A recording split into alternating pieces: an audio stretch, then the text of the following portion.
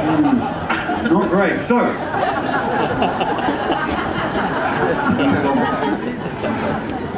it was two shows, wasn't it? It's two shows. Is that what you said?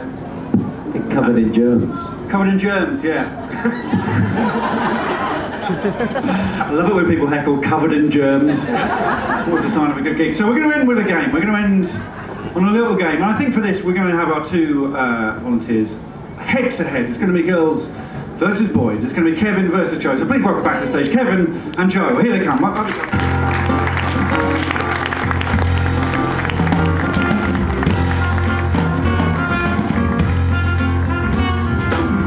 They're back. How was the eggy pop? Your brother ate it. Sally? What's your brother's name? Sally, yeah, let's Sally. Okay. We're going to play a game of Twister. I don't know if you played Twister before. Have you played Twister before in your generation? It's a good game, isn't it? Have you played Twister? It's a good game. What we're going to do, we're going to do audience Twister. Audience. Do you want, do you want to play the theme tune? Would you like to them to play the theme tune? It'll be quite awkward because you're already on stage, but Joe, the uh, trumpeter, is going to dance quite, I think, violently, so just sort of bear that in mind, as this is the theme tune to the game. Good luck.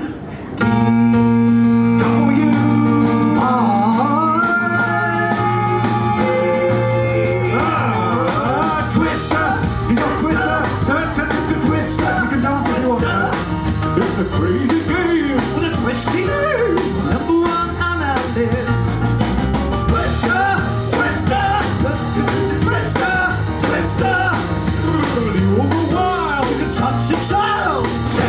Right foot. So that's the theme tune. Not the best. Not the best. It included the line, you can touch. But, um, we're going to play Team Twister. So this is uh, Team Kevin over here. Team Kevin, give yourselves a round of applause just this side of the room. And Team Joe over here. Hang on. I know which team I'd want to be on, Kevin. I on. I know I have, Kevin. I know I have. Okay, so uh, the way it's going to work, you're going to follow your leaders. You're the team captains, all right? I'm going to give you instructions what to do with your body, and you all have to do it. You're all going to do the same things with your body, okay? So just follow the instructions. It's very easy, and you're going to demonstrate. Okay, we'll start with a little. Okay. Okay, so just put your right hand the person in front of you. So if you could both just reach forward like that, just reach forward, just to demonstrate. So if you can all do it, cow. I'm going to call you cow for the person. That's lovely. Okay, next.